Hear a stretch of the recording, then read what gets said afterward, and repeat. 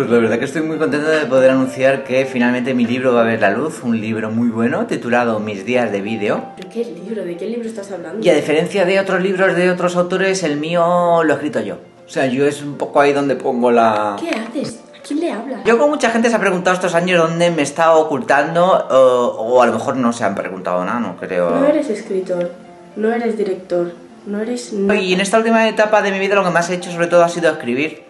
He estado escribiendo. El Bukowski de Mallorca. ¿Y cómo se escribe un libro? Pues en mi caso lo que he hecho ha sido levantarme cada día y me, me he puesto a escribir. Y a medida que iba escribiendo, el libro iba engordando, iba avanzando y no me he dado cuenta y de repente me he encontrado con mil páginas. ¿Tú te estás dando cuenta de la imagen de puto loco que proyectas? También para escribir lo que he hecho ha sido beber mucho café y mirar por la ventana. He bebido cantidades inger... in- Cantidades ingentes, no ingertes. Bien, he abierto la nevera como un millón de veces y todo por, por, no estar sentado ahí delante del ordenador. Tiene mucho tiempo libre, ¿eh? He tomado café, eso ya lo he dicho, creo, ¿no? Luego también me he estado documentando un montón sobre cine, porque el libro que he escrito es de, mm, de cine, Mis días de vídeo se llama.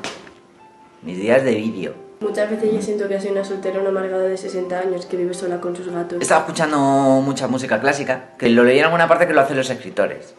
Los buenos escritores Menos mal que tengo a mi gata que me hace caso. Si el libro va bien y me compran los derechos para la adaptación al cine, quiero que la dirijan los, los Javis. Y Carmen Machi quiero que haga de mí. Y Blanca Portillo va a hacer de mi hija. Todo eso lo tengo ya en un PDF.